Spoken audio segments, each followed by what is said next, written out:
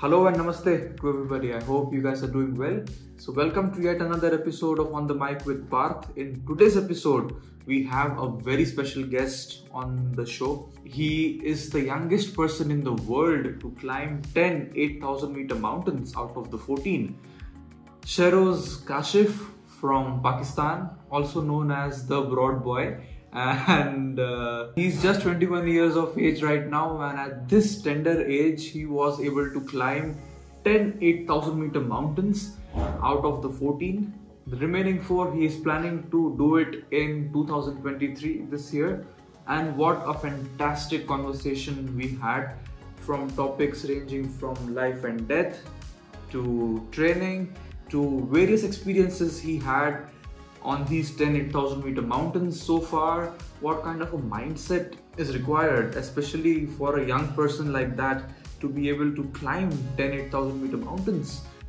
And a lot of such stories experiences learnings that he has had on the mountains he has shared it in the conversation we had. Now i urge all of you especially who are into climbing mountains to listen to this episode fully to the end because there are a lot of things to be learned from this young man and I hope all of you enjoyed this conversation. So here is presenting to you Sheroz Kashif, the broad boy on the mic with Parth. Enjoy. हाँ let us start so sir अस्सलाम वालेकुम नमस्ते कैसे हैं आप बहुत बढ़िया मेरे भाई बहुत टाइम से हम लोग जानते एक दूसरे को लेकिन कभी मिलना नहीं हुआ काठमांडू ही काठमांडू में होके भी बहुत बार तो आज अच्छा लग रहा है आपसे बात करके sir same same same same कहाँ हो अभी आप? घर पे हो? यार मैं अभी घर पे हूँ मैं पहली बता दूँ मैं हूँ पंजाबी बंदा ठीक है? मैं पंजाबी बंदों का फ्लो जो है ना वो बस ना ही पकड़े तो फ्लो अच्छा है। तो मुझे बात बात में ना बात चेंज करते रहनी है ठीक है? तो अभी वैसे तो मैंने कुछ ज़्यादा प्लान नहीं किया है बस आपके बारे में बहुत जानता हूँ या बीप लगा देना या बीप लगा देना या जाने देना। तो बस वही मैं मैंने सोचा कि आपसे बात करें आपकी स्टोरी बहुत इंस्पायरिंग है आपकी जर्नी बहुत इंस्पायरिंग है और इंडिया से भी बहुत लोग फॉलो करते हैं आपको। तो डिटेल में अगर यू you नो know, यहाँ के लोगों को आपकी स्टोरी मालूम पड़े तो बहुत सारे यंग लोग हैं जिस जिनको गाइडेंस क्लैरिटी मिल सकती है आपकी जर्नी से। तो इसके लिए आपको मैंने पूछा और आपने हाँ बोल दिया उसके लिए बहुत धन्यवाद आपका यार। नहीं नहीं यार बहुत मेहरबानी आपकी। Thank you for having me बिल्कुल बिल्कुल। तो अभी मतलब ऐसे कुछ ज़्यादा मैंने प्लान नहीं किया कुछ कुछ है क्वेश्चंस मेरे माइंड में। बात शुरू करते देखते कहाँ जाता है। शुरू करते हम लोग। तो हेलो नमस्ते अस्सलाम वालेकुम मेरे भाई। कैसे हो आप? वालेकुम अस्सलाम नमस्ते क्या हाल चाल है आपके? गुड गुड गुड ये पॉडकास्ट के लिए एक्चुअली मुझे बहुत रिक्वेस्ट आया करती थी कि शेरोज के साथ ब्रॉड बॉय के साथ पॉडकास्ट करो। उनकी जर्नी बहुत इंस्पायरिंग लगती है हमें। First of all very thanks to you for accepting to be here आज जो बात होने वाली है, उससे बहुत सारे यंग लोगों को क्लैरिटी और गाइडेंस मिलेगी पक्का। मुझे पहला सवाल आपसे पूछना है। सवाल नहीं है तो मतलब मैं खुद भी अपने आप को कभी कभी पूछता हूँ।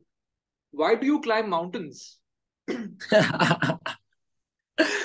man अच्छा तो सबसे पहले तो guys I am Sheroz Kashif aka the broad boy आप सब मेरे दोस्त से तो वाकिफ है, मेरे से नहीं है। यार basically my journey my journey was something कि यार मैंने उस चीज़ को फैंटेसाइज किया basically when I was 11 years old तो I saw some mountaineers going towards the mountain 3000 meters की पीक मतलब हम मैं जहाँ पे रहता हूँ वो अमृतसर के लेवल पे है। मतलब मेरा घर यहाँ से अमृतसर के शायद 20 मिनट की दूरी पे है। सो हाँ मैं बॉर्डर के बिल्कुल पास रहता हूँ। Okay. मैं मैं जब फ़र्स्ट टाइम गया था तो you know there was a question in my mind कि यार लोग आखिर ऊपर क्यों जाते हैं? Hmm. और age 11 years old kid I was just fantasizing that thing यार what's up there? Is there any playground or is there any some sort of यार you know मेले लगते होते हैं यहाँ पे। और मैंने कहा कि यार ऐसा क्या हो सकता है ऊपर? hmm. कोई लोग फुटबॉल खेल रहे और मैंने भी age eleven years old kid मैंने भी अब्बा जी से अपने जिद की मैंने कहा यार मुझे भी जाना है। हम्म। तो खैर ले गए वो नीचे बैठे मैं ऊपर गया हूँ। और वहाँ जाके जब मैंने, जब मैं पहुँच के देखा there was nothing but self of achievement and self confidence और सेल्फ स्टीम और एक सेंस ऑफ़ अचीवमेंट थी यार जो आई हैव गेन देयर मतलब उस वक्त जो है ना, वो मुझे इस तरह का फील हो रहा था कि यार यस यार this is the place where I feel most alive तो हम्म। मतलब it's it's mountain mountain itself is a big story mountain itself is a attraction ठीक है? मतलब मेरा पहाड़ के साथ पहला पहली इंस्पायरेशन मेरे पहाड़ के साथ पहला अट्रैक्शन कोई सेल्फी नहीं थी?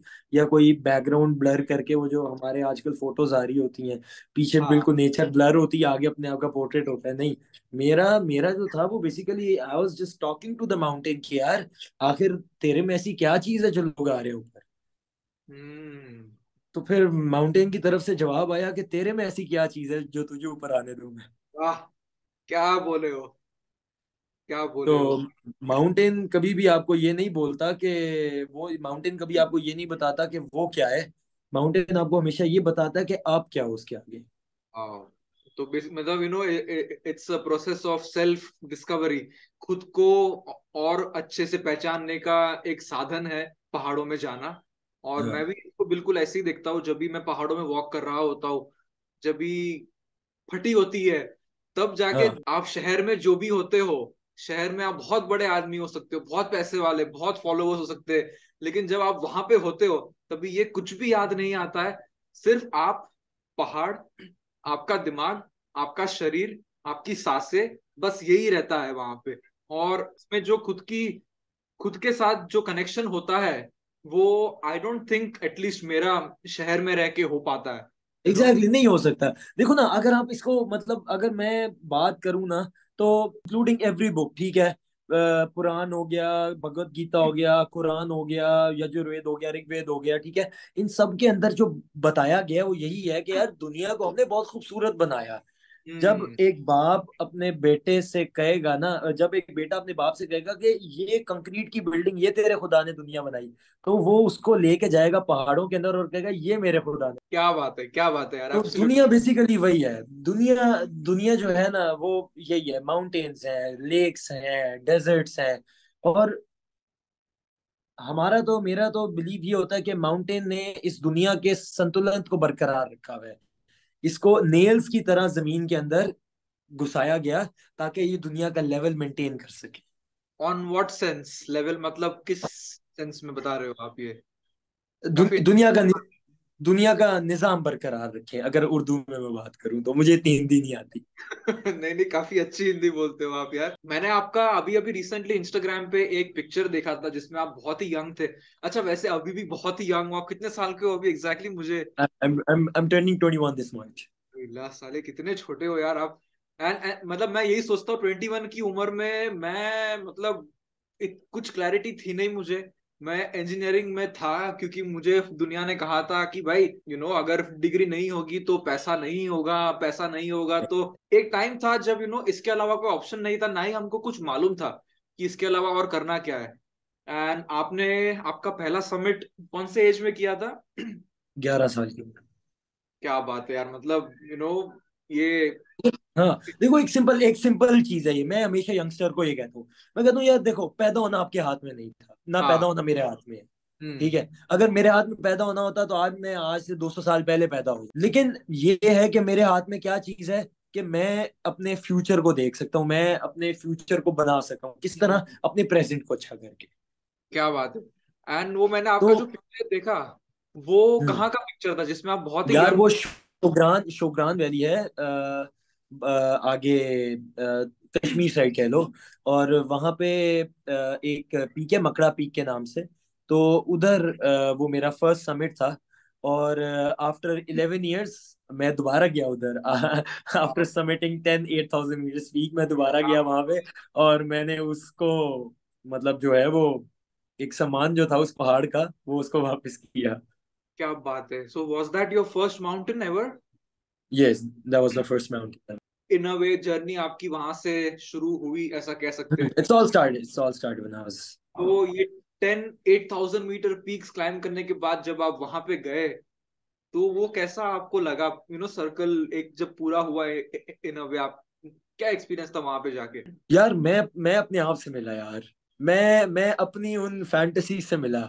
मैं अपने उन हर सवाल से मिला। जो उस पॉइंट में मैं खड़ा होके कर रहा था।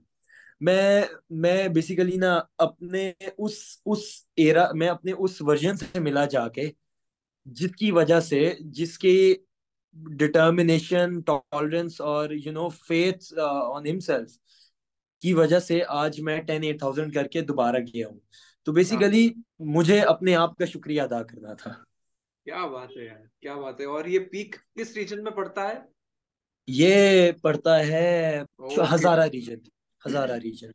I don't know ये बातें ऑनलाइन कहने जैसी है कि नहीं लेकिन मेरा एक सपना है कि जो काराकोरम रीजन है वहाँ पे जाके वहाँ पे पहाड़ क्लाइम करूँ वहाँ के लोगों से मिलूं वहाँ के पीक्स एक्सपीरियंस करूँ लेकिन ये तो हमारा भी ये तो हमारा भी ड्रीम है कि आप लोगों में।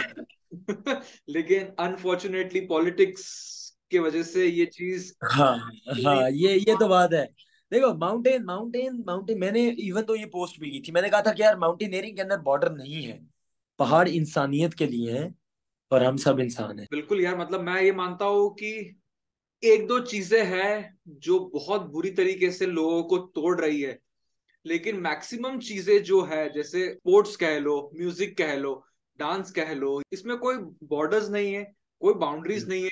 आज मैं आपके साथ बैठ के मेरे भाई की तरह बात कर रहा हूँ। हाँ. किसी के दिल में कुछ नहीं है। मतलब ये मैं चाहता लैंग्वेज लैंग्वेज सेम है यार। इवन तो हमारे कुछ स्लैंग्स भी सेम है। और मैंने अभी एक चीज़ नोटिस की। आपने जब मुझे आपका व्हाट्सएप नंबर भेजा हमारा प्लस नाइन वन है आपका प्लस नाइन टू है। हाँ. फिर भी ज़मीन आसमान का और भाई ये वाघा बॉर्डर पे जियो के सिग्नल आते हैं। अच्छा। अंबानी साहब बहुत पहले हुए यार। हम्म यार मैंने ना अभी आपका जब भी आप ये समर सीज़न में क्लाइंबिंग कर रहे थे मैं सुबह उठा और हमारी एक दोस्त है प्रियंका मोहिते उनके स्टेटस पे मैंने देखा प्रे फॉर शेरोज काशिफ मुझे लगा यार हम्म। ये क्या हो गया मेरा मेरे दिल की धड़कन इतनी तेज हो गई मुझे पता था आप नंगा पर्वत पे हो समिट पुश पे आगे पीछे हो आप कहीं पे मेरी दिल की धड़कन इतनी तेज हो गई फिर मैंने आपका आपका इंस्टाग्राम खोल के देखा। और आपके अब्बा जी का मैंने एक वीडियो देखा जो देख के मेरे आँखों में आँसू आ गए। देखो अभी भी मैं मतलब यू नो मैं वो वीडियो को याद करता हूँ तो बहुत इमोशनल हो जाता हूँ मैं कि एक पापा को कभी ऐसा बोलने की नौबत he was he was pleading he was pleading. Yes he was pleading. बिल्कुल बिल्कुल बिल्कुल। वो उनके आवाज़ में उनकी आँखों में दिख रहा था वो। अस्सलाम वालेकुम। ये मेरी अपील आर्मी चीफ से है। मेरा बेटा सेवन थ्री फाइव ज़ीरो पे मीटर पे, नांगा पर्वत, कल मेरा लास्ट टाइम सात बज के तीस मिनट पे उससे कांटेक्ट हुआ था और उसके बाद अभी तक नहीं हुआ। अभी तक कोई मोबिलाइजेशन नहीं हुई है वहाँ बेस कैंप में। सारे एक दूसरे पे डाल रहे हैं। कोई ऐसा नियर फ्यूचर में नहीं लग रहा कि वो कोई रेस्क्यू ऑपरेशन करना चाह रहे हैं। नेपाली एग्री कर रहे हैं कि हम आपके इस ऑपरेशन में मतलब शामिल हो जाते हैं। अगर कोई लॉन्ग लाइन जो है, वो हेलीकॉप्टर मिल जाता है। हम लोग 7300 से भी रेस्क्यू कर लेंगे क्योंकि उनके पास एक्सपीरियंस है अन्नपूर्णा पे करने का। मेरी आर्मी चीफ से ये गुजारिश है कि किस चीज़ का वेट किया जा रहा है? किस चीज़ का वेट किया जा रहा है? चीफ साहब, अभी पिछले दिनों कंचनजंगा पे उसने अपनी जो पीक है, वो डेडिकेट की थी आर्मी के शोधा को। ये 20 साल है उसकी उम्र। वो इतने इतने बड़े कारनामे कर चुका है। पाकिस्तान का नाम रोशन कर चुका है। ये पे बैक है इस मुल्क में। आप लोग ऑपरेशन करें प्लीज़ तो मुझे आपसे थोड़ा सा ये समझना है कि नंगा पर्वत पे हुआ क्या था? अच्छा एक्चुअली नांगा पर्वत पे बिकॉज़ देखो one of the most difficult mountains Nanga Parbat ठीक है? नो डाउट इसमें कोई शक नहीं है ठीक है? अब आ, मैं और फजल जो मेरे साथ जो बंदा था ना हम सिर्फ़ दो बंदे ही क्लाइंब कर रहे थे उस माउंटेन के ऊपर ठीक है? मैं फ्रंट लीड कर रहा था क्योंकि Fazal was doing without oxygen and without down suit and he is 50 years old he is like machine man like K two को तीन टाइम विदाउट ऑक्सीजन किया उसने विदाउट डाउन सूट किया। मतलब ही इज़ मशीन लेकिन फिर भी Uh, मैं आई वाज रीडिंग हम लोग uh, मतलब हमारे पास रोप नहीं थी अल्पाइन स्टाइल के अंदर जा रहे थे। आपको पता है one wrong step and you will be the part of history तो हम लोग अल्पाइन स्टाइल के अंदर जाते, करते, कराते करते, कराते, हम लोगों ने सबमिट तो कर लिया। अब जब नीचे उतरने वक्त, जो नीचे जब हम उतरने लगे ना तो आहिस्ता आहिस्ता करते करते ना वाइट आउट शुरू हो गया। अब जब वाइट आउट हुआ तो I was contacting my father on Garmin मैंने कहा, यार, यहाँ से तो हमें रास्ता नहीं मिल रहा because there is no footstep and nothing else हम लोग फॉलो किस चीज़ को करें? और यहाँ पे ये है कि मतलब अगर मैं हल्का सा भी स्लिप हुआ तो I am gone dead nobody wants himself dead ठीक है? एज मी यार, मैंने मैंने जो है वो मरना नहीं है इधर। और आई लव माई लाइफ खैर करते कराते ना अंधेरा होना शुरू हो गया है। uh, मेरी ऑक्सीजन खत्म हो गई ठीक है? uh, हमारे पास पानी नहीं खाना नहीं कुछ भी नहीं था। और हम लोग बर्फ़ के अंदर जो है वो पड़ गए। मतलब मैंने उस वक्त वो एक ऐसा पॉइंट था जब मैंने मौत को खुद से एक्सेप्ट किया। मैंने उसे हजम किया कि यार यस आई थिंक के हर इंसान को एक ना एक दिन मरना है और ये मेरा टाइम है। और क्योंकि देखो जब इंसान को पता लग जाए ना कि वो मरने लगा है तो वो उस वक्त मर चुका होता है। जब जब मुझे पता है कि यार अभी मैं एक घंटे बाद मरने लगा हूँ ना तो मैं उस वक्त मर चुका हूँ। तो I was I was dead that time और मतलब मैं, हम लोग ऐसे में गिर गया था नीचे बर्फ़ में थोड़ा सा होल करके हम लोग इस तरह लेट गए थे, क्योंकि सोए तो होते नहीं है उसके वक्त। और मतलब हम वी वर शिवरिंग और पानी इतने फोर्टी एट आवर्स से पानी नहीं पिया सेवेंटी टू आवर्स से खाना नहीं खाया हुआ। और रेस्क्यू ऑपरेशन भी जो है वो नीचे कहा गया कि स्टार्ट हो गया हुआ है। लेकिन उस वक्त मैंने कोई हेलीकॉप्टर वगैरह की आवाज़ नहीं सुनी और इस तरह का कुछ भी नहीं था। तो खैर जब मैं सुबह उठा ना वहाँ से नांगा पर्वत से मतलब आई वाज स्टार्टिंग हेलुसिनेटिंग कि यार कोई आर्मी के लोग आ रहे हैं और वो कह रहे हैं, चलो हेलीकॉप्टर में बैठो भैया हियर टू रेस्क्यू यू और आई वाज जस्ट लाइक यार, मैं जब उठता था और मेरे ऊपर बर्फ़ होती थी और कुछ भी नहीं था उस वक्त सिर्फ़। तो मतलब वो वो जो रात थी ना तो वो उसपे मुझे ना बल्कि एक शेर याद आता है कि जिस रात महकती थी, उस रात की यादें उस रात गुजरती ही नहीं रात हमारी। क्या बात है। हाँ तो मैंने ये पोस्ट भी किया और उसके नीचे मेरे मेंटोर हैं जहीर चौधरी उन्होंने कमेंट किया हमने भी काटी है ये रात तुम्हारी। हम्म। तो ग्राउंड लेवल पे भी लोगों का बहुत बुरा हाल था और यार मैं जब सुबह उठा हूँ तो फजल आवाज़ लगा रहा है। फजल कह रहा है कि कोई मदद कर दे हमारी, या अल्लाह मदद कर दे हमारी, ये वो इस तरह इस तरह। और देन आई वेक अप और उस वक्त भी स्नोफॉल हो रही थी हल्की हल्की और seven thousand five hundred meters पे थे हम लोग नियरली दैट जोन और 24 से 28 आवर्स हो गए हुए थे हमें वहाँ पे। और मैं फिर भी रास्ता ढूंढ रहा था और एकदम मेरे दिमाग में क्लिक किया और मैंने कहा कि हम यहाँ से चलेंगे। और मैंने छह घंटे तक ट्रेल को ब्रेक किया विदाउट ऑक्सीजन 7500 पे। और करते कराते हमें कैंप थ्री नज़र आया और बस मैंने वहाँ पे अपना बैग फेंका और मैं ऐसे बैठ गया। मैंने कहा ये मैन अब भाई हम लोग बच गए हम लोग बच गए हैं। और ना मुझे ये था कि यार नीचे क्या हाल हो रहा होगा? वॉकी टॉकीज नहीं चल रहे कुछ भी नहीं चल रहा यार। मैं कह रहा हूँ यार नीचे ऊपर हमारी फटी पड़ी है तो नीचे लोगों का क्या हाल हुआ होगा? तो और वो क्या कह रहे होंगे? मेरी फैमिली क्या कह रही होगी? क्योंकि इंसान को ख्याल आता ही है ना। एक रात तो में किया कितना हाँ। कितने इमोशंस के थ्रू गए होंगे लोग? बस एक ही रात में जहाँ पे दुनिया भर में लोग सो रहे थे यार यहाँ पे कितना कुछ हो रहा था। वो नुसरत साहब की कवाली याद आती है हम तड़पते रहेंगे यहाँ रात भर तुम तो आराम की नींद सो जाओगे। एग्जैक्टली exactly, एग्जैक्टली exactly, बिल्कुल। तो तो बस पहाड़ों ने वैसे ही मुझे बड़ा शायर किया हुआ यार। दिख रहा है मुझे यार बिल्कुल ये यार मैं मैं बता रहा हूँ मैं मैं दीवाना बन रहा हूँ यार मैं बहुत शायर बन कैंप थ्री से फिर खुद आए नहीं कैंप थ्री यार जब हम कैंप थ्री एक मज़े की बात बताता हूँ। कैंप थ्री आके सोए एक ही स्लीपिंग बैग में दो बंदे सो रहे क्योंकि ठंड ज़्यादा कैंप के अंदर थे हम लोग पानी शानी बना के पिया हुआ कुछ भी और हम कांपी जा रहे कांपी जा रहे। तो ना मेरा दोस्त फजल उठ के मुझे कहता है यार तूने देखा है हम लोग ज़िंदा कैसे रह गए हैं? मैंने कहा क्यों? कहता है we were naked that time ठीक है? हम लोग नंगे थे उस वक्त जब हम लोग वहाँ पे थे ऊपर। बिकॉज़ टेंट नहीं था ना हमारे पास। और कहता है यहाँ पे टेंट और स्लीपिंग बैग के अंदर हमें ठंड लग रही है। तो तू देख सकता है कि हमें किसने कब बचाया हमें नहीं पता। और पता है कि आई बिलीव कि आई एम डेड देयर और जब भी मैं उस पॉइंट पे जाऊँगा तो मैं अपने आप को मरावा पाऊँगा। हम्म। बाप रे। बहुत ही गहरी बात कह दी आपने। और मैं देखो ना यार सदगुरु तो हम भी सुनते हैं हम भी कह सकते हैं। यू नो मैं इस बात से क्यों रिलेट कर पाता हूँ? क्योंकि जब मैं एवरेस्ट पे था हम्म। जब मैं नीचे आ रहा था सबमिट करके जस्ट दो घंटे हुए थे मैंने क्लाइम किया था नॉर्थ साइड से फ्रॉम चाइना फ्रॉम टिबेट जब मैं नीचे आ रहा था तो अनफॉर्चुनेटली मेरे सामने मैंने एक इंसान की मौत होते हुए देखी। एंड अपने आप को जैसे तैसे कंपोज करते हुए क्लियर रख के फोकस रख के मेरे शेरपा ने मुझे बोला तू अभी अगर यहाँ पे इमोशनल हो गया तू अगर यहाँ पे अभी अनफोकस्ड हो गया तूने एक गलत का you know one wrong step तू गया? Yeah. मैंने बोला नहीं मेरे घर पे मेरे लिए वेट कर रहे हैं लोग और मैंने प्रॉमिस किया है कि मुझे घर पहुँचना है. लेकिन कुछ कुछ कुछ कुछ बीस मिनट बाद मेरे साथ कुछ होने लगा जिससे मेरी हेल्थ मेरी एनर्जी एकदम started to go down very fast and उस हालत पे पहुँच गया मैं कि अपने पैरों पे खड़ा नहीं हो पा रहा था मैं।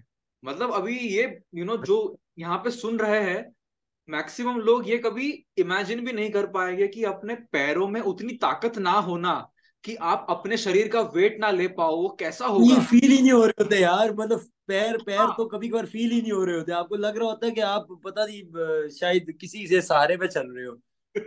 बिल्कुल। और मैं जब वहाँ बैठा था तो मैं तभी 8500 मीटर्स पे था ऑलमोस्ट सेकंड स्टेप के थोड़ा नीचे on the north east ridge and मेरा शेरपा मेरे से 10-15 मिनट पीछे थे वो पुनर्बू शेरपा अभी वो नहीं रहे यहाँ पे। एंड uh, उनको कैंसर हो गया था 2021 के स्टार्टिंग में उनकी उनका देहांत हो गया। तो जब तक वो आए नहीं थे मैं वहाँ बैठा था मैं उठने की कोशिश कर रहा हूँ। उठ नहीं पा रहा हूँ मैं और मैंने जहाँ तक मुझे पता था यू नो 8500 मीटर पे कुछ रेस्क्यू नहीं होगा कोई हेलीकॉप्टर नहीं आने वाला कुछ नहीं होने वाला। तो अगर तुम अपने पैर पे नहीं चल सकते तो तुम गए बॉस। Exactly exactly. भाई मतलब कोई चांस ही नहीं है ना आपका। मतलब आपने डायरेक्ट ऊपर की टिकट करवानी है और वो आपको ना वो यमराज की बहन साहब के सामने आती हुई नज़र आ रही होती है। बिल्कुल बिल्कुल। और जब मैं वहाँ बैठा था मैं ये इसीलिए कहानी बोल रहा हूँ क्योंकि मुझे आपसे पूछना है इसके बाद एक सवाल। जब मैंने एक्सेप्ट किया था कि बस यहाँ पे ये शरीर के साथ मेरा जो साथ है वो छूटने वाला है हाँ. और मेरे दिमाग में जो ख्याल आ रहा था वो ये था भगवान कभी मैंने आपको प्रार्थना नहीं की मैं कभी नहीं माना आप में लेकिन अगर आप मुझे आज सुन रहे हो मेरे जैसे ना समझ को तो मुझे बस तीस सेकंड दो मेरे घर वालों के साथ लेकिन मुझे यू you नो know, जब समय गया तो गया वो वापस नहीं आता। तो मुझे आपसे ये पूछना है जब आप उस मौत के मुँह में थे जैसे आपने कहा कि आपने एक्सेप्ट कर लिया था कि आज ज़िंदगी खत्म होने वाली है और ये छोटी चीज़ नहीं होती। समझ लो मतलब whatever we know as life ये शरीर ये थॉट्स ये आइडियोलॉजीज ये फैमिली सारा कुछ आज छूटने वाला है। जब ये बंदा एक्सेप्ट करता है तो आपके उस मोमेंट में आपके मन में आपके दिमाग में क्या चल रहा था? थोड़ा इसमें गहराई में बात करना चाहूँगा इसके बारे में। यार मैंने ना हमेशा मैंने ना मेरे लिए डेथ का एक स्टैंडर्ड होता है। ठीक है? मैं मैंने मैं अगर आपने अगर आपने बात की कि मैंने कहा कि मुझे थर्टी सेकंड दे दो मैंने ये बात नहीं की।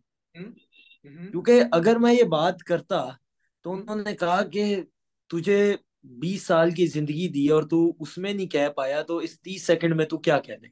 एब्सोल्युटली ठीक है। मेरे लिए ना डेथ का स्टैंडर्ड होना बहुत लाजिम है। ओके okay, मतलब? इंसान की ज़िंदगी रिग्रेट से भरी हुई है। Hmm. इंसान की ज़िंदगी में इंसान बहुत सारी चीज़ें करना चाह रहा होता है, लेकिन वो एक ऐसा पॉइंट आता है जब उसको पता लगता है कि वो ने मौत को उसने एक्सेप्ट कर लिया, उसके बाद वो कह रहा होता है, अबे यार, ये नहीं किया, वो नहीं किया, ऐसे नहीं किया, ये हो गया, वो हो गया, मैं क्या करूँगा, मैं क्या करूँगा? आँखों में आँसू होते हैं, दिल की आखिरी धड़कने होती हैं और यही बोल रहा होता है, मुझसे गलती होगी, मैंने ये भी नहीं किया, मैंने। लेकिन वेन आई डाई मैं दावे के साथ ये कह सकता हूँ कि मेरे मुँह से ये अल्फाज निकलेगा कि यार मज़ा आ गया, क्या ज़िंदगी थी।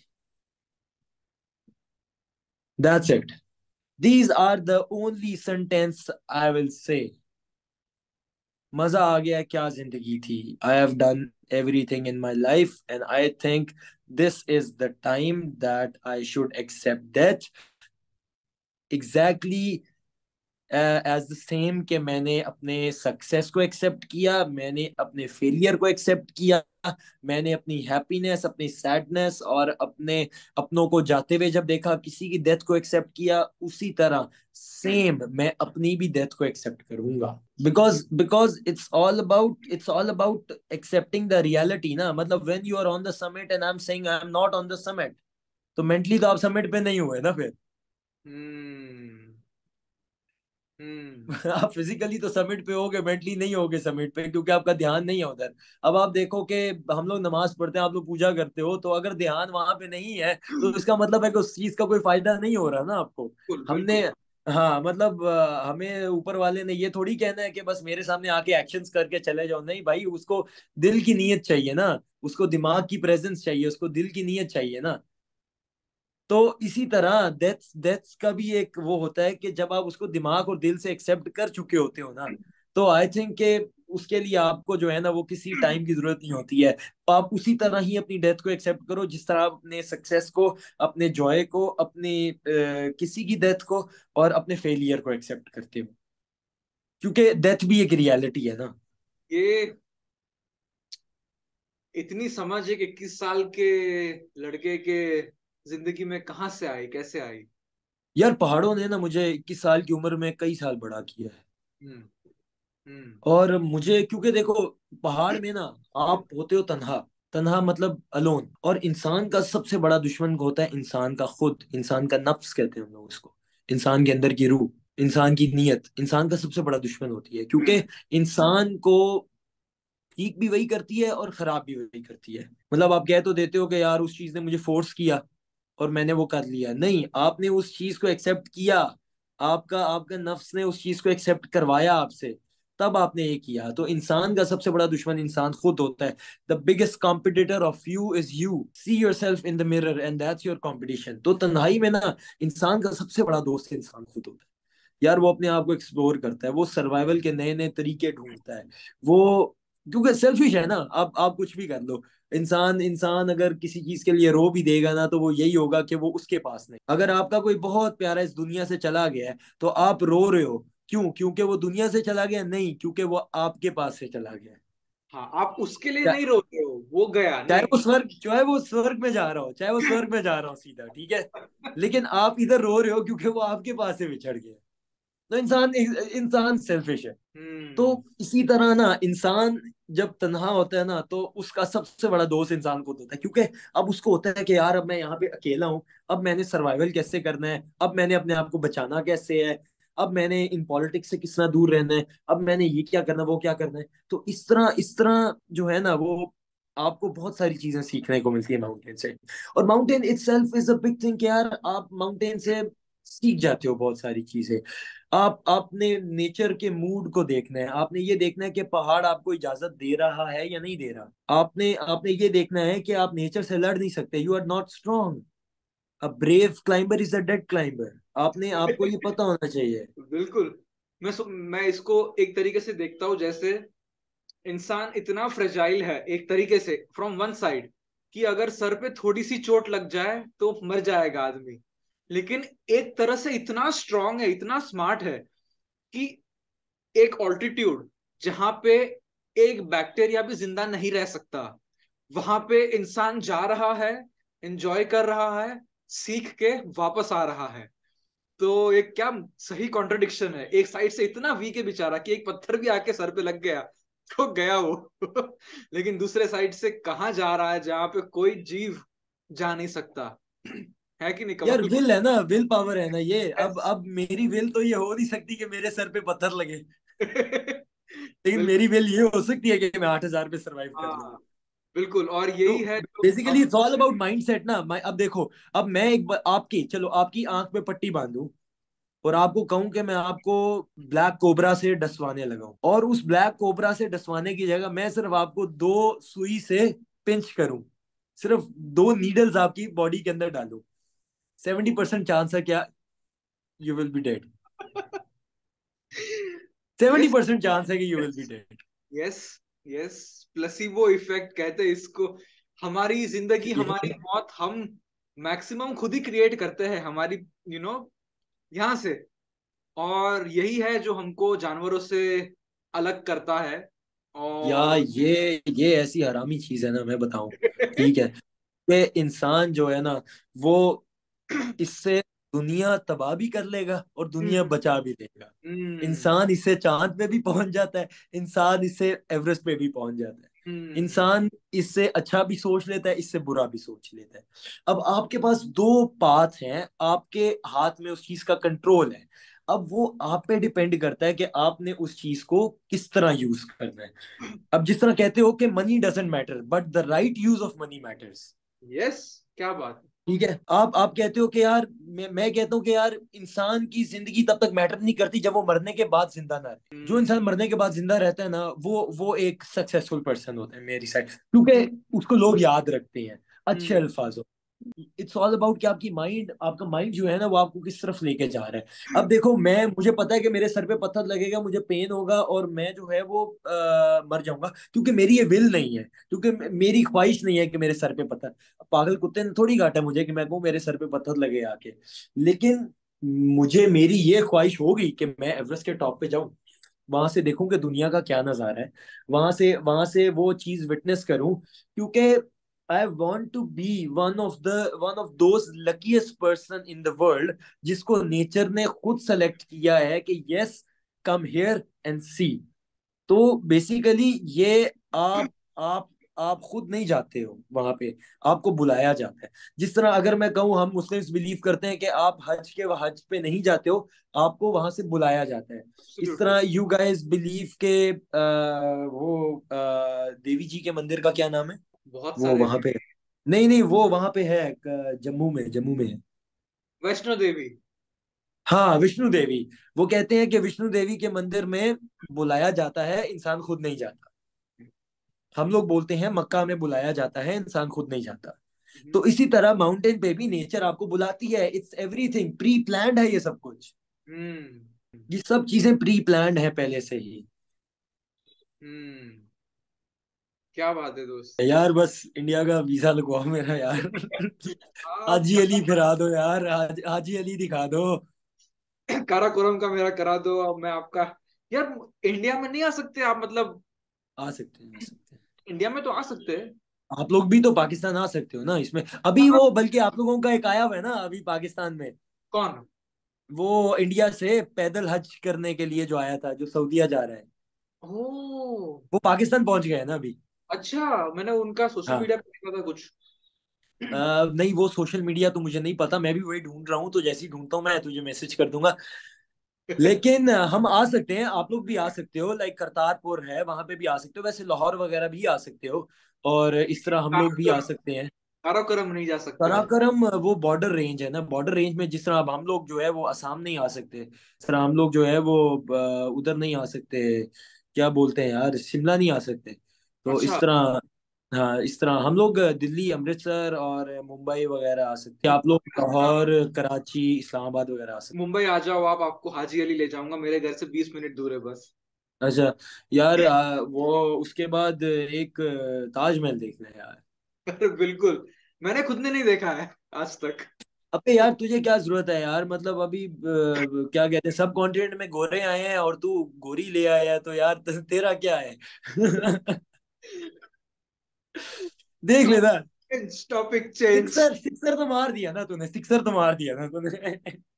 नहीं यार हमेशा हमेशा खुश रहो तुम लोग और मेरी बहुत शुभकामनाएँ आपके साथ है।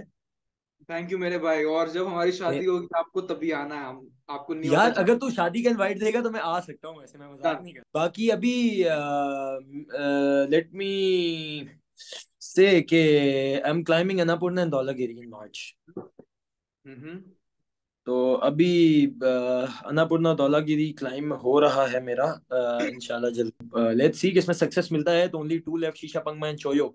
फिर बैंग फिनिश फोर्टीन थाउज़ेंड और उसके बाद उसके बाद मतलब बस फोर एट थाउज़ेंड से मैंने वैसे ही थोड़ा किनारा कर लेना है। बिल्कुल हाँ। People here who don't know थोड़ा सा मैं पर्सपेक्टिव देना चाहूँगा।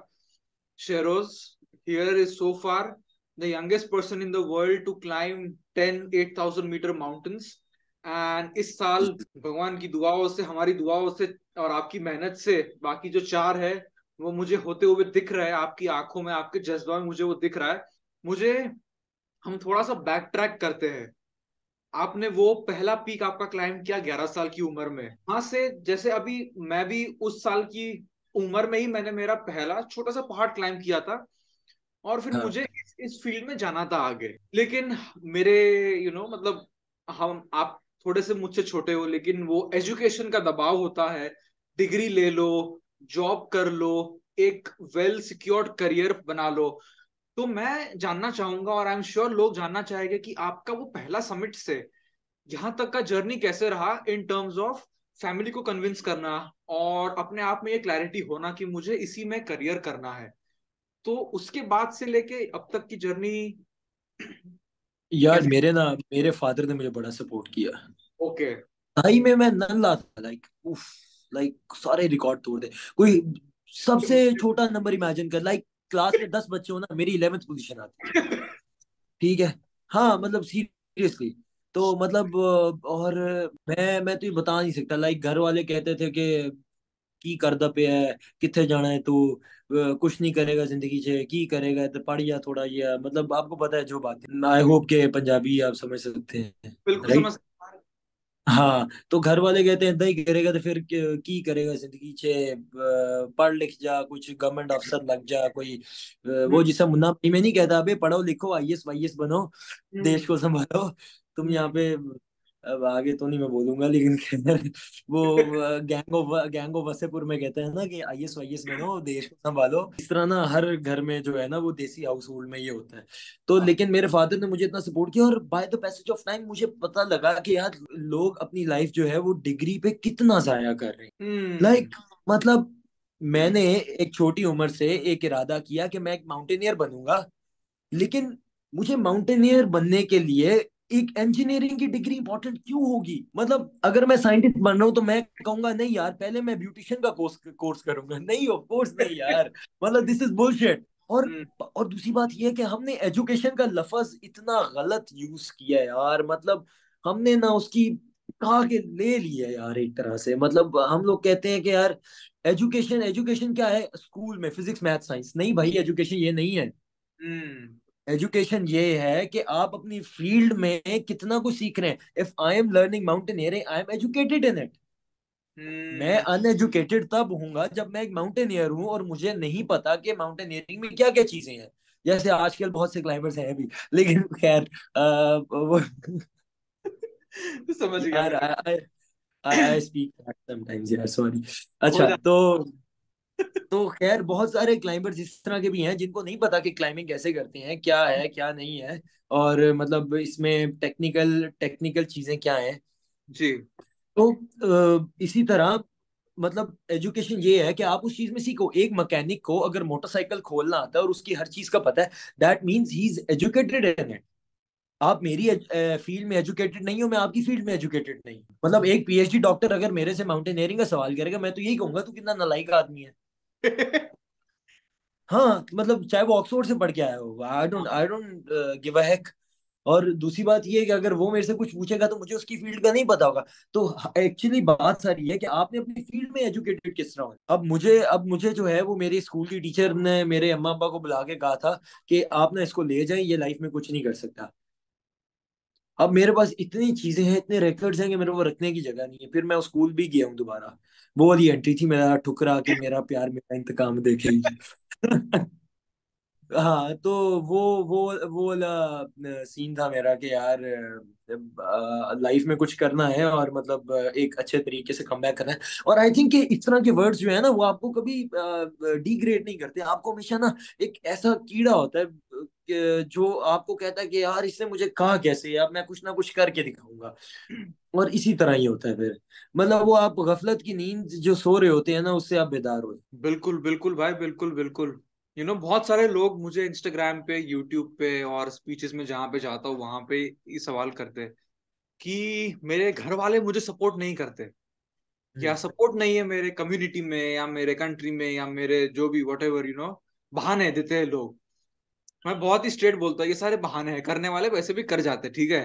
तो यार करने वाले कर जाते हैं ये हाँ। नहीं है वो नहीं है ऐसा नहीं है हाँ। वैसे नहीं है करने वाले कर जाते हैं यार। तो इनको अगर आपको कुछ कहना है जिन you know those who are stuck in excuses तो उनको आप जगाना चाहोगे तो कैसे जगाओगे? क्या कहना चाहोगे? यार मैं मैं बस इतना कहूँगा आपको कि just go where you feel most alive और impacts are way bigger than emotions ये हमेशा बात याद रखना कि इम्पैक्ट्स इमोशन से बहुत बड़े होते हैं और आपको अपने दिमाग के पिंजरे से निकलना चाहिए क्योंकि आप ही आपके सबसे बड़ा दुश्मन बना होता है उस वक्त। तो अपने दिमाग की कैद से निकलें। इस अगर इफ़ यू ड्रीम समथिंग तो you have to chase it ना। Otherwise it's just a waste of time मैं बैठ के यहाँ पे जो है वो दिन में पचास बहुत बड़े बड़े ड्रीम देख लूँगा। मैं इलॉन मस्क भी बन जाऊँगा। मैं ब, ब, क्या कहते हैं उसे क्या कहते हैं, क्रिकेट में मैं विराट कोहली भी बन जाऊँगा वसीम अकरम भी बन गया मैं। तो मतलब इस तरह तो मैं सब कुछ हूँ ना इस दुनिया में। लेकिन द थिंग इज़ कि आपने उस चीज़ को चेस भी तो करना है। If I want to be a mountaineer then मुझे उस चीज़ के लिए प्रैक्टिस भी तो करनी पड़ेगी ना। हमारा मसला ये है कि हमारे यहाँ पे शॉर्टकट्स बहुत हैं। लाइफ का बिल्कुल सिंपल रूल है, ठीक है? Being doing and having that's what Sadhguru said ठीक है? बीइंग डूइंग एंड हैविंग लेकिन हमारा ये होता है कि हम लोग कहते हैं having being and then doing नहीं भाई ये नहीं होता। क्या बात ये किताब फाड़ दीजिए ये किताब फाड़ दीजिए इसमें कुछ भी नहीं है ऐसा। और मतलब you have to be consistent आपकी कंसिस्टेंसी बहुत मैटर करती है फ़ील्ड के अंदर। अगर मैं यहाँ टांग पे टांग रख के बैठा रहूँगा और उसके बाद जो है वो मतलब आ, बोलूँगा कि यार मुझे सब कुछ मिल जाए तो that's not how it works और आपको ये ये चीज़ें देखनी चाहिए। मेरी लाइफ में मैं अगर देखूँ और अगर you uh, know you know, कि मेरे फैमिली की बहुत सपोर्ट रही है मेरे माउंटेनियरिंग के जर्नी में।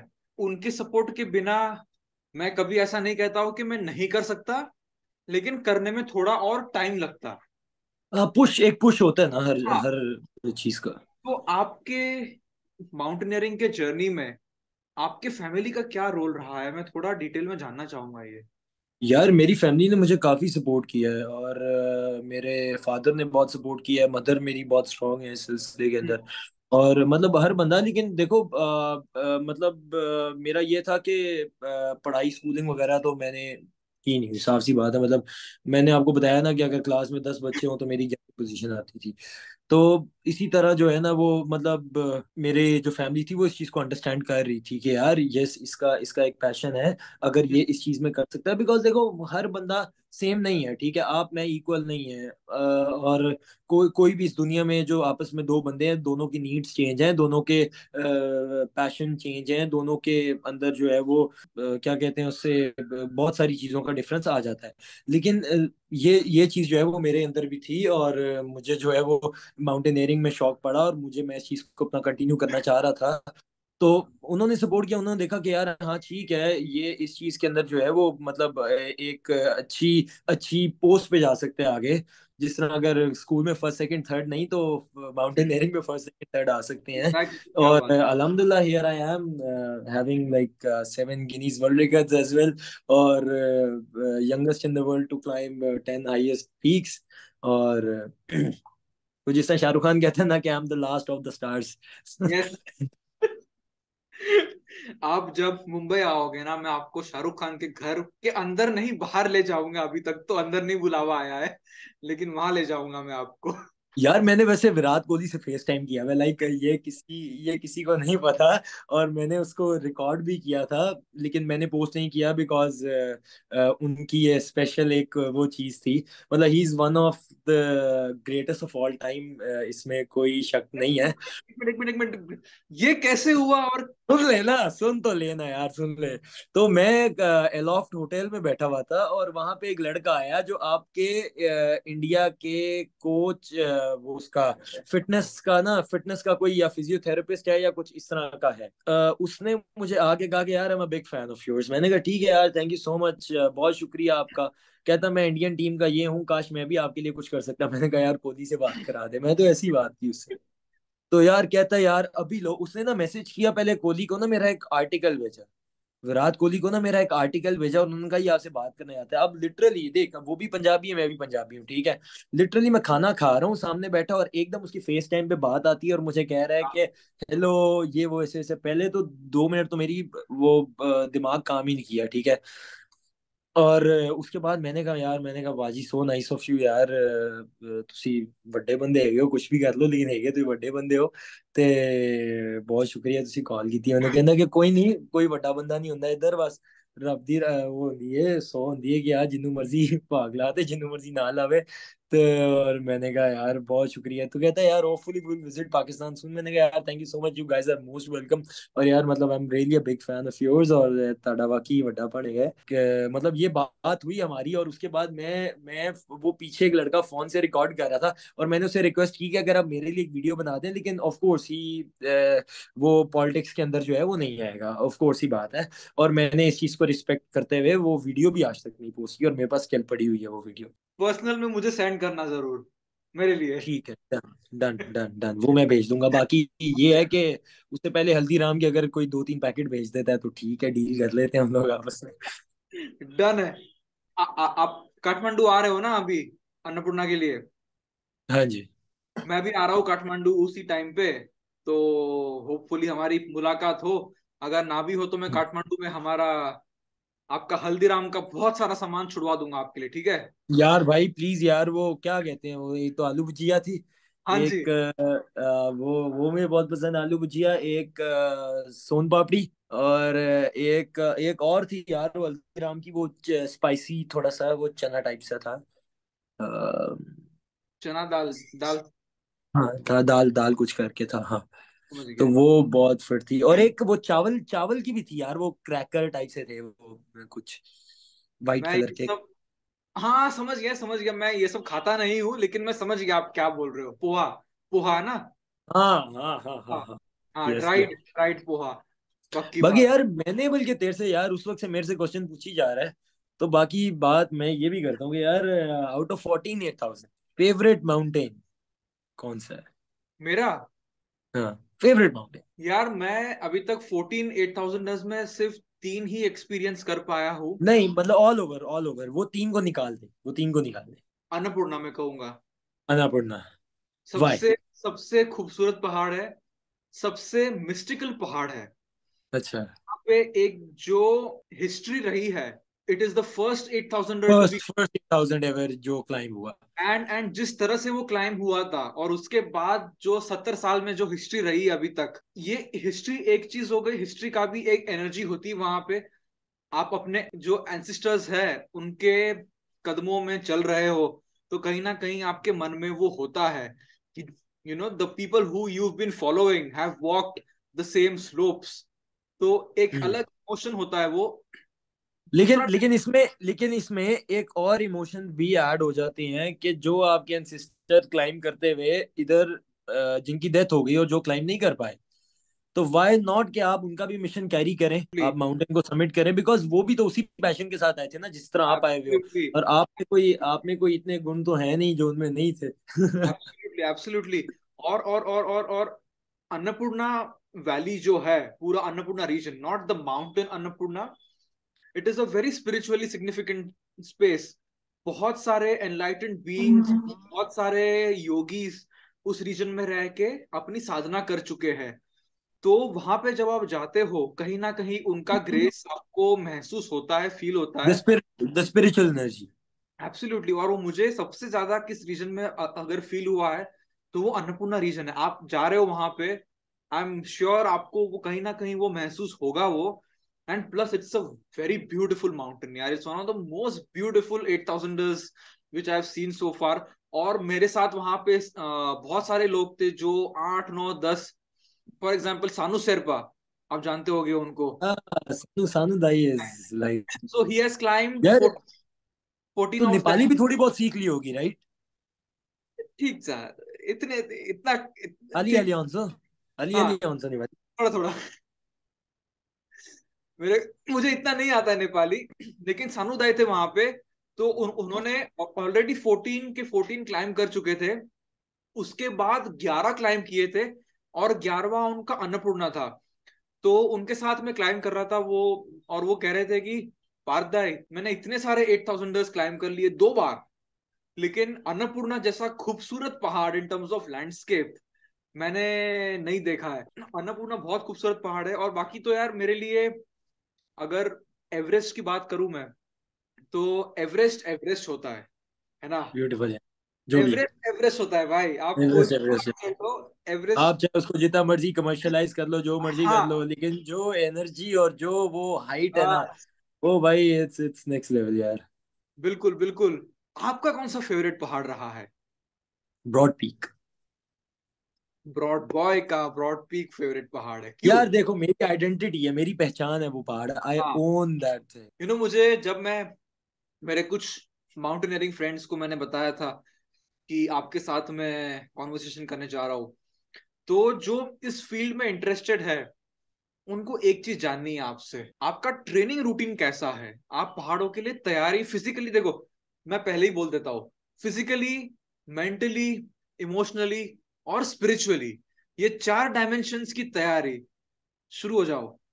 कैसे करते यार पहली बात तो ये कि तुझे पता है मेरा ऑपरेशन हुआ हुआ था मेरी डिसरप्चर हो गई थी तो हाँ। मेरी जो लेफ़्ट आर्म है वो काम करना बंद हो गई थी मेरा फुट लॉस हो गया था। यू कैन से कि it was like thirty percent paralyse मतलब इन शॉर्ट अगर मैं बात करूँ। Thirty to forty percent paralysed और उसको रिकवर अभी तक रिकवरी चल रही है। लेकिन अभी मेरी रूटीन ये है कि फिजिकली मैं प्रिपरेशन कर रहा हूँ अपना जिम जो क्रॉसफिट करता हूँ, उसके बाद मेरी स्विमिंग होती है, ठीक है? ये मेरे रेगुलर बेसिस पे जो है, वो एक मतलब एक रूटीन बनी हुई है। और दूसरी बात ये है कि यार मेंट अगर आप स्पिरिचुअली बात करें तो being a Muslim I have to pray five times a day ठीक है I pray four times a day ठीक है? सुबह पाँच बजे कभी आँख खुलती है, कभी नहीं खुलती। ठीक है टू बी ऑनेस्ट और दूसरी बात ये है कि मेंटल लेवल पे यार मेंटल लेवल पे अब आठ दस हज़ार का आठ सॉरी दस आठ हज़ार करके भी हाँ दस आठ हज़ार करके भी जो है ना अगर आपको मेंटल लेवल पे काम करने की वो वो पड़े ना कि यार आपने अपने आप को मेंटली माउंटेन के लिए कैसे प्रिपेयर करना है यार दस के बाद तो आप आपको कहना चाहिए कि यार मैं तो गेट टुगेदर के लिए जा रहा हूँ। आपको तो ये बात करनी ही नहीं चाहिए कि मैं अपने आप को मेंटली प्रिपेयर्ड कर रहा हूँ किसी चीज़ बात है? वो बात वो अ, मैंने बताया भी है ना मेरे मेंटोर हैं सर जहीर उन्होंने मुझे सिखाया कि भाई पहाड़ से कैसे बात करते हैं क्या है क्या नहीं दोस्ती कैसे बढ़ाते हैं। आपने देखो दोस्ती का हाथ बढ़ाना है ठीक है? ना आपने हाथ खींचना है ना आपने जो है वो ज़ोर ज़बरदस्ती दिखानी है because you are not strong ठीक है? You are not brave you are not strong you have to accept this और बाकी टेक्निकली मेरे उस्ताद हैं जाहिद राजपूत यहाँ पे, जिनसे मैंने अपने हर तरह की ट्रेनिंग ली है। रो फिक्सिंग की हाउ टू यूज़ इक्विपमेंट और मेंटली कैसे अपने आप को प्रिपेयर करना है। और सबसे बड़ी बात यह है कि ये चीज़ें तो चलो ठीक है नॉट्स एंकर बिल्डिंग वगैरह, ये सब चीज़ें तो आती हैं। लेकिन द थिंग इज़ कि आपने डिसीज़न कैसे लेना है, कौन सी नॉट किस पॉइंट पे उसका यूज़ बनता है, आपने इस चीज़ को कैसे देखना है, ये बेसिकली एक हर माउंटेनियर का वो होता है। हम्म। इंडिया में बहुत सारे माउंटेनियर हैं। मेरे बड़े फेवरेट फेवरेट माउंटेनियर्स भी हैं आपके यहाँ पे। तो अक्सर आते रहते हैं सोशल मीडिया पे बादशाह बादशाह तो नहीं होती, खैर एमी कंट्रोवर्सीज वगैरह में आते हैं खैर क्या कहते हैं उसको? अच्छे लोग हैं यार। यार Baljeet is a very good friend of mine ठीक है। प्रियंका प्रियंका मोहिते उसके बाद भगवान दादा यार ही इज़ अमेजिंग पर्सन उसके बाद केवल हो गया यार वो भी बहुत प्यारा लड़का है यार. उसके बाद और और भी हैं दो तीन लोग यार. अच्छा मैं आपसे मैं आपको यहाँ पे टोक के बताना पूछना चाहूँगा. आप कहीं पे रुक गए? कुछ कहना चाहते थे? आप रुक गए वहाँ पे? अबे यार छोड़ना यार. बता दो अगर ऐ- ऐ- ऐसा कुछ है तो मैं काट दूँगा. लेकिन बता दो जो है मन में बोलना नहीं नहीं नहीं नहीं वो यार वो तो वैसे ही बस आपको पता है जरा ट्विटर श्विटर पे इंस्टाग्राम पे मैं भी जरा थोड़ा एक्टिव रहता हूँ ना तो ऐसे हाँ। देख रहा होता हूँ कुछ चंद हाँ। चीज़ें हैं बस आपको तो पता ही है। बाकी यार देखो मेरे बड़े फेवरेट लोग हैं मेरा बड़ा कनेक्शन है भाई आप क्लाइंबर्स के साथ ठीक है? ना सिर्फ़ इंडिया के बल्कि पाकिस्तान के क्लाइंबर्स के साथ भी एक बड़ा अच्छा कनेक्शन है। हम लोग अभी वो सविता यार वो जो चली गई है उसके अंदर उसके बाद यार क्या कहते हैं हिते, हितेश था वो क्या नाम था वो लड़के का? जो अभी यार एवलांच के अंदर जो वो जिसकी जान चली गई। कौन से पीक पे? यार ये नून नून कौन करने गया था शायद? नाम नहीं पता लेकिन एक्सीडेंट हुआ था मुझे याद है। हितेश हितेश था या पता नहीं कौन था। यार चार क्लाइंबर्स वो थे जिन्होंने मेरे साथ ऑलरेडी क्लाइंब किया हुआ है। ठीक है सविता के लिए हम लोग अपने वहाँ से केक बनवा के तो क्या कहते हैं उसे सविता की बर्थडे सेलिब्रेट की हमने। मैं बलजीत और बाकी सारे लोग थे वहाँ पे ठीक है? हाँ। मैस स्टैंड में। और मतलब एक इतना अच्छा कनेक्शन यार लोगों का और आपको कल पता लगता है कि यार वो लोग आपके आपके बीच में है ही नहीं है। तो मतलब बहुत बहुत दुख होता है यार। अब देख लो अली अली था सतपारा देख लो अली सतपारा देख लो। माउंटेनियरिंग माउंटेनियरिंग दुनिया दे वर क्राइंग हम खुद रो रहे थे यार। मतलब यार जब अब देखो सविता सविता चली गई वो वो हितेश था या यार वो मुझे उस लड़के का नाम नहीं याद आ रहा आई डोंट नो व्हाई और उसके बाद सेम सेम पीक पे? हाँ सेम पीक पे सेम पीक पे ये ये ये पीक डीकेडी टू है उत्तराखंड में यहाँ पे माउंटेनियरिंग के कोर्सेज होते हैं इंडिया में। डीकेडी टू द्रौपदी का डांडा टू वहाँ पे अनफॉर्चुनेटली ट्वेंटी नाइन लोगों की मौत हो गई थी और और उसमें से चार बंदे वो थे जिनके साथ मैं ऑलरेडी इन कांटेक्ट में था। और यार और बहुत सारे लोग थे। अभी देखो नारायण जी चले गए यार। वो तो भाई मेरी आँखों के सामने ना यार, वो तो सब कुछ मेरी आँखों के सामने हो रहा है। नारायण जी ने मास्क उतारा हुआ है, मैं उनको बोल रहा हूँ कि यार आप चलो यहाँ से नीचे। गालियाँ भी दे रहा हूँ साथ साथ साथ साथ बर्फ़ भी फेंक रहा हूँ उनपे कि मैं कह रहा हूँ किसी तरह चले। मैं उनको इवन तो वो कहना तो नहीं चाहिए लेकिन आई वाज थ्रेटिंग हिम कि if you won't go down तो I I just hit you with ice axe मतलब इस इस तरह आपको पता है कि माउंटेनियरिंग के अंदर मतलब you have to you have to say something to other person और फिर और क्या जब जब जब जब आपने ये उनको कहा तो फिर हाँ। वो फिर भी ऊपर की तरफ़ जा रहे थे? नहीं नहीं हाँ वो फिर भी ऊपर की तरफ़ जा रहे थे वो मतलब high altitude cerebral oedema वगैरह और ये सब कुछ जो है वो उन पे हावी हो चुका हुआ था उस वक्त और मतलब उनका ऑक्सीजन मास यहाँ से यहाँ पे आया हुआ था और मतलब बहुत सारी चीज़ें मतलब अ, मैं साफ़ देख के कह सकता था क्योंकि यू नो के इतना एक्सपीरियंस तो हो चुका हुआ है अब कि मतलब हम लोग बता सकें कि यार क्या है क्या नहीं है। तो ब्रदर मुझे ना आपसे एक चीज़ पूछनी थी जैसे बहुत सारे लोग यहाँ पे स्ट्रगल करते एक चीज़ से पैसों। फंड्स हम्म, माउंटेनियरिंग के लिए फंड्स कैसे रेस करना है? तो मैं जानना चाहूँगा आपका पाकिस्तान में इस चीज़ को लेके कैसा एक्सपीरियंस रहा है? और जो लोग पैसा रेस करना चाहते हैं इस फ़ील्ड में जो कहीं भी हो दुनिया में तो उनको आप क्या कहना चाहोगे? क्या, क्या तरीके हैं वो रेस करने के? दो दो इसमें दो चीज़ें आ जाती हैं। देखो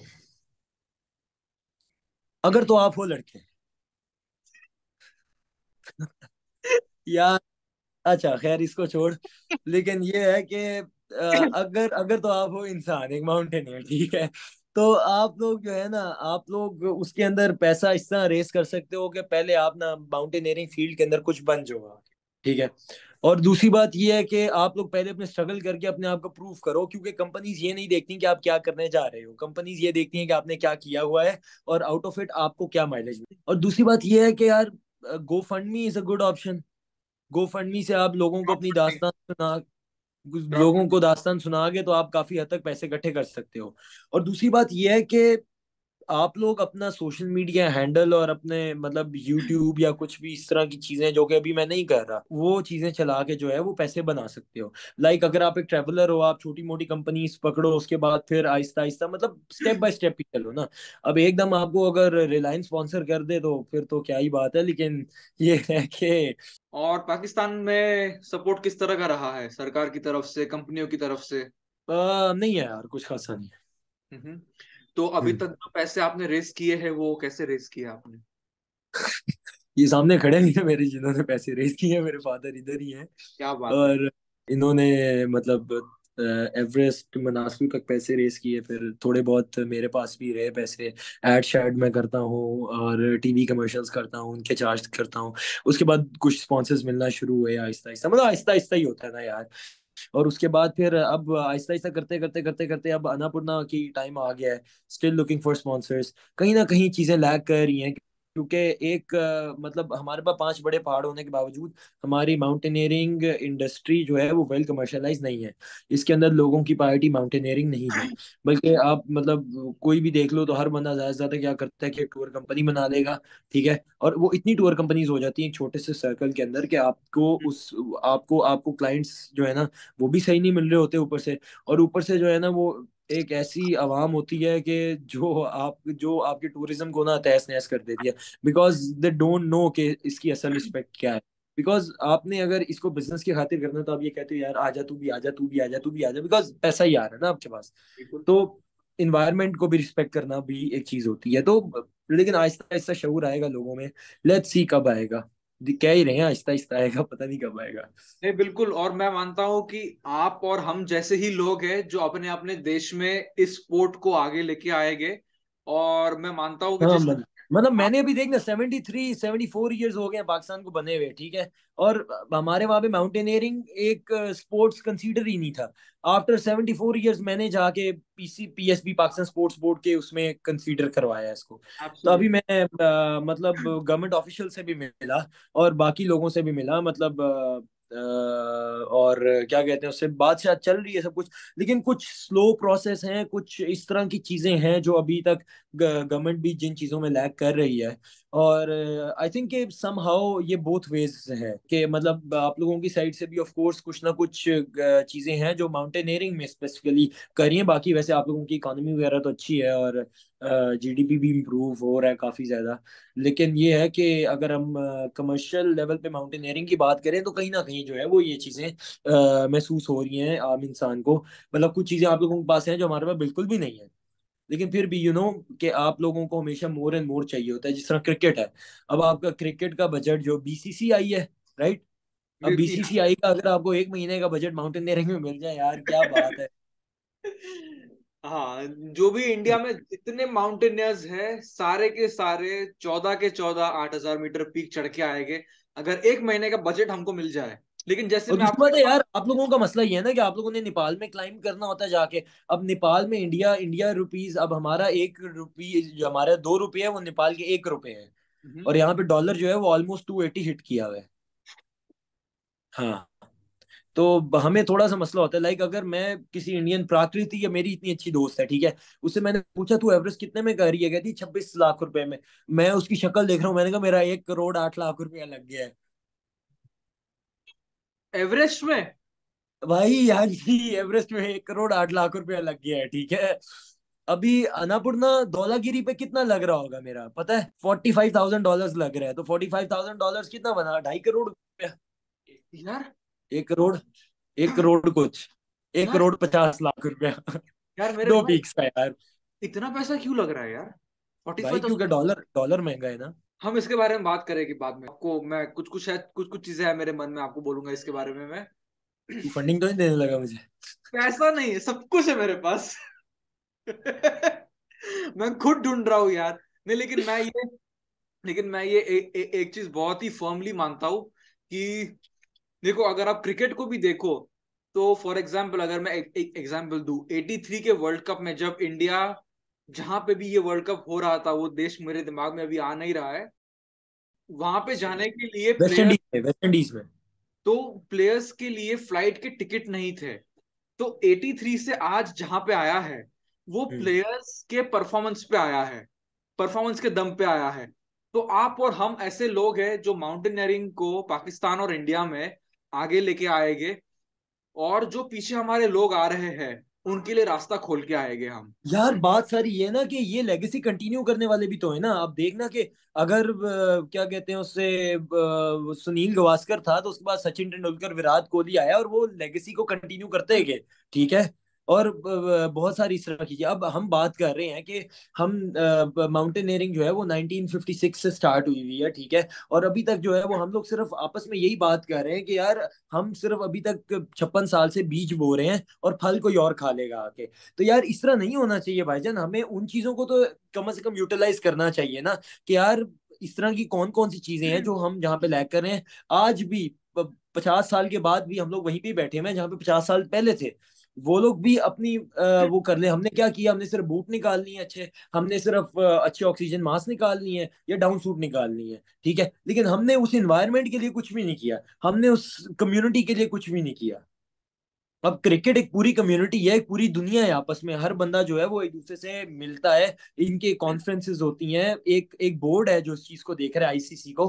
पूरी दुनिया के क्रिकेट को, पूरी दुनिया की माउंटेनियरिंग को कौन देख रहा है? तो ब्रदर या तो हम इसको ऐसे सोच सकते हैं कि कोई देखे, या तो हम ऐसे सोच सकते हैं कि हम शुरू करें और हम देखें। समझ रहे हो? हम शुरू करते फाउंडेशन जो फंड करे लोगों को। ऐसे भी हो सकता है। यार बॉर्डर तो टापने नहीं देते फंड कहाँ से करना है? नहीं मतलब मैं मैं यार हाँ इसका सेटअप खोलते हैं नेपाल में। क्यों नहीं?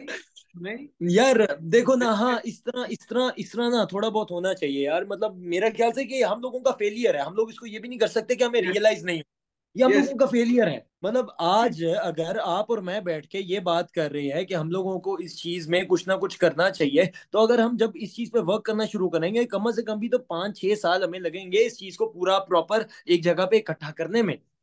बिल्कुल। और पाँच छह साल में आप हो गए छब्बीस साल के तो क्या दिक्कत है उसमें? सही तो है। पाँच छह बच्चे होंगे। नहीं भाई।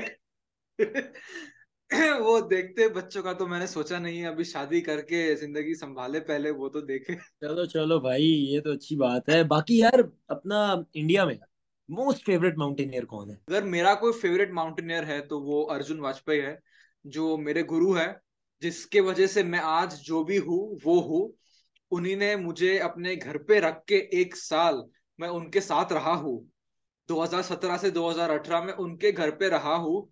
उन्होंने मुझे कहा कि तेरे आँखों में मुझे दिखता है जो मेरी आँखों में था उस टाइम पे। आ मैं। तुझे गाइड करता हूँ मेंटर करता हूँ सिखाता हूँ। उनसे जो मैंने सीखा है मैं आज जो भी थोड़ा सा हूँ उनके वजह से हूँ। तो मेरे तो फेवरेट वही है इंडिया का तो मैंने मैंने अर्जुन मैंने अर्जुन के साथ बेस कैंप शेयर किया था। और मैं उससे स्पेशल मिलने भी गया था वो ईश्वर ट्रैक से आया हुआ था तो मैं उससे स्पेशल मिलने भी गया था कि यार आई एम फ्रॉम पाकिस्तान और ये वो उससे मुझे दावत भी दी थी कि आप जब भी आए तो मेरे घर में आके स्टे करें आगे। Is is a good person lady favourite mountaineer कौन है? ऑल ओवर द वर्ल्ड अगर इंटरनेशनली बात करें तो क्रिस्टीन हैरिला उसने जो इस साल किया क्रिस्टीन ने आ, वो एकदम एकदम ग्राउंड ब्रेकिंग चीज़ थी। और अगर इंडिया में बात करें तो हमारी खास दोस्त बलजीत कौर जिसने इंडिया से उसने पाँच यार Baljeet Baljeet is a character यार। बलजीत इज़ अ करेक्टर मतलब मैं मैं क्या बताऊँ यार? बिल्कुल बिल्कुल बिल्कुल। हमारे ऑडियंस को बताना चाहता हूँ कि शेरोज के पास अभी थोड़ा समय कम है ये पॉडकास्ट के लिए। हम वापस ज़रूर करेंगे लेकिन इस पॉडकास्ट को एक लाइट नोट पे एंड करने के लिए एक रैपिड फायर राउंड है करण जौहर वाला रैपिड फायर राउंड फटाक से कुछ है ना? Done done I am down okay down आपका फेवरेट खाना कौन सा है? निहारी। क्या होता है वो? वो इट्स लाइक यार मैं क्या बताऊँ वो मटन होता है और उसके अंदर मतलब वो थोड़ा ग्रेवी टाइप सा होता है। उसको नाश्ते में खाते हैं सुबह। ओके फेवरेट माउंटेन कौन सा है अभी तक जो आपने क्लाइम किया उसमें से? न, नांगा पर्वत। क्यों? क्योंकि उसने मुझे सिखाया है कि जीना इसी का नाम है। क्या बात है। अच्छा मैं आपसे एक सवाल पूछना चाहूँगा। अगर रिसोर्सेस साइंस इमेजिनेशन लिमिट ना हो तो क्या एक सपना है आपके ज़िंदगी में? जैसे फॉर एग्ज़ाम्पल मेरे ज़िंदगी में एक, एक एक सपना है मार्स का जो सबसे ऊँचा पहाड़ है जो थर्टी थाउज़ेंड मीटर्स है वो क्लाइम करना है मुझे। माउंट माउंट ओलंपस हाँ बिल्कुल। आपके लाइफ में वो क्या एक सपना हो सकता है आउट ऑफ़ द वर्ल्ड हाँ, मैं इनविजिबल होना चाहता हूँ। एक दफ़ा देखना चाहता हूँ मैं एक दफ़ा एक दफ़ा मैं एक चीज़ को देखना चाहता हूँ कि थ्योरी ऑफ़ नथिंगनेस क्या है। इनविजिबल होके you can do everything but you are nothing जो देखो जिस तरह डार्कनेस है डार्कनेस इटसेल्फ तो कुछ भी नहीं है ना। Absence of sun is darkness absence of light is darkness dark चीज़ है लेकिन मतलब आप उसको देख नहीं सकते ना तो उसकी वैल्यू ही नहीं है कोई। मैं आपको एक बात बताऊँ आज मैं लोकल ट्रेन में ट्रैवल कर रहा था और मैं यही सोच रहा था कि अगर मैं इनविजिबल होता तो लोकल ट्रेन में ट्रैवल करना कितना मज़ेदार होता कि आप दिख नहीं रहे हो लेकिन आप महसूस हो रहे हो। लेकिन लेकिन ये हार्डली लेकिन ये हार्डली शायद एक या दो दिन तक मज़ेदार रहता उसके बाद नहीं होता। क्यों? क्योंकि देखो ना यू आर इनविजिबल ठीक है?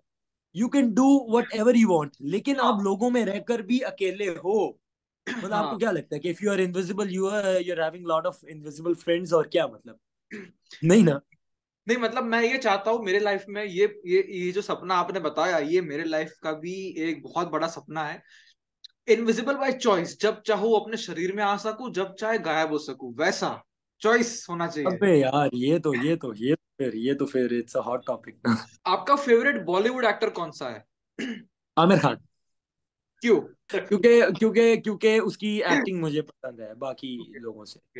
सलमान खान इज़ गुड ठीक है अच्छा है लेकिन Shahrukh Khan is good king of romance Salman Khan action king कह लो कुछ भी कह लो लेकिन Aamir Khan is a character hmm absolutely absolutely और इसी को लगता हुआ एक सवाल है अगर आपके लाइफ के ऊपर एक बॉलीवुड या एक हॉलीवुड या एक मूवी बने तो दुनिया में कौन सा वैसा एक्टर है जो आपका रोल प्ले करे आप चाहते हो? वो मे- अ, मतलब एक्टर एक्टर हो हाँ। और वो मेरा रोल प्ले करे। बेयर ग्रिल्स आपका फेवरेट वेकेशन डेस्टिनेशन कौन सा है? फेवरेट वेकेशन डेस्टिनेशन इज़ जहाँ मैं कभी गया नहीं हुआ। जगह हो माइंड में जहाँ पे आपके जाने का सपना हो। दुनिया में। बैंकॉक मतलब अ, अ, क्या कहते हैं उससे मालदीव मालदीव्स हाँ। ठीक। है आपके माउंटेनियरिंग को छोड़ के फ्यूचर प्लान्स क्या है? किस तरह से आप अपनी लाइफ को आगे बढ़ते हुए देखते हो? मैं ये देखता हूँ अपनी लाइफ में कि मैं इन लफ्जों के साथ याद रखा जाऊँगा इस दुनिया में। He was the last best mountaineer of this world जो मेरी थियरी है। This is this is not strong statement ठीक है? मैंने मैंने पहले ही बोला था कि यार देखो I I think am the last best mountaineer in this world but best is not enough someone will be a conqueror and someone will be a professor and once he will be a professor he और she has spread the knowledge and knowledge never ends मैं एक बहुत छोटी category का होनहार member very nice and आपने मुझे कहा कि आप सदगुरु को सुनते हो तो oh उनसे क्या सीख मिलती है? उनसे उनके बारे में क्या सोच है आपकी? यार यार ही जो उनकी थिंकिंग है ना वो उनमें उनमें वो वो एक स्पिरिट मुझे नज़र आती है जो कि पॉजिटिविटी और मतलब टॉलरेंस और यूनिटी और फेथ से भरी हुई है। अगर तो मतलब एक्सप्लेनेशन और अगर तो कॉन्सेप्ट एक बंदा होता ना तो वो सदगुरु है। अगर तो ये कॉन्सेप्ट वर्ड कोई इंसान होता। जब सेव द सॉइल यार मतलब सेव द सॉइल मिट्टी मिट्टी से सब है और मिट्टी में ही जाना है। हमारा तो बिलीव ही यही है तो save the soil that's it absolutely आप होपफुली जब भी इंडिया आओगे मैं आपको ईशा फाउंडेशन में ले जाऊँगा ज़रूर। और वहाँ पे जो काम हो रहा है it is not religious you know it is just for human wellbeing और यार humanity humanity humanity is the thing जहाँ पे आप कंबाइन होते हो हाँ, और एक आखिरी सवाल है जो यहाँ पे यंग लोग देख रहे हैं स्पेशली माउंटेनियरिंग कम्युनिटी से। इंडिया से बहुत सारे लोग इस इस इस इस, इस पॉडकास्ट को देखेंगे। तो उनके लिए माउंटेनियरिंग से लेके आपका एक क्या एडवाइस सजेशन टिप होगा? Matter you are black or white doesn't matter you are tall or short doesn't matter you are skinny or healthy doesn't matter you can speak or not if you give up you die that's it so never give up in your life और give up in a sense कि आपने mountain के ऊपर give up इस तरह से नहीं कि आपने माउंटेन के साथ जो है वो आड़ा लगा के बैठ जाना है आपने गिव अप अपनी विल पे नहीं करना कभी भी। मतलब आपकी विल ये होनी चाहिए कि if you want to achieve something if you want to conquer something then conquer yourself और इस चीज़ पे कभी भी गिव अप ना करें। Because one thing you never conquer mountain you conquer yourself I am repeating it again you never ever conquer mountain you conquer yourself you conquer your fear absolutely thank you मेरे भाई। Thank you so much for having me यार। Thank you धन्यवाद। मैं hope करता हूँ कि हम personally मिले। और मिलके एक बार एक वीडियो रिकॉर्ड कर सके। फेस टू फेस एक अलग ही एनर्जी होती है। और मैं जानता हूँ कि आपसे और बहुत कुछ सीखने को है। जिस इंसान ने टेन एट थाउजेंडर्स क्लाइम किए हैं। और you know by the end of this year I am very sure fourteen के फोर्टीन एट थाउजेंडर्स क्लाइम करने वाले यंगेस्ट इंसान बनोगे आप। तो उससे और बहुत सारी सीखने वाली चीज़ होगी। और हम इसको वापस ज़रूर करेंगे। एंड मेरी तरफ़ से एंड पूरे इंडिया की तरफ़ से मेरे भाई को दुआओं में याद रखना कि वो माउंटेनियरिंग में धमाका करे जो ऑलरेडी किया है उससे बड़ा भी धमाका करे। सेफ़ रहे लंबी उम्र जिए और बहुत सारे लोगों को हेल्प करे। And thank you so much मेरे भाई। So much for having me और मेरे ये इंडियन फैंस और फ्रेंड्स के लिए यार कि I love you guys lots of respect आपके नेबर्स हैं हम लोग। और भाईजान never ever hesitate to contact me ठीक है? uh, मुझे इंडिया से बहुत सारे मैसेजेस आते हैं आई लव इट यार मतलब क्या मज़ेदार लोग हैं सारे। और ये है कि सैविजता की इंतहा है ऊपर से। तो बाकी इंशाल्लाह मुझे भी बस मेरे वन परसेंट बैटरी रहेगी ये फ़ोन में भी। ठीक है इंशाल्लाह I see you in Nepal will see you soon thank you so much God bless so much thank you God bless God bless you खुदा हाफिज खुदा हाफिज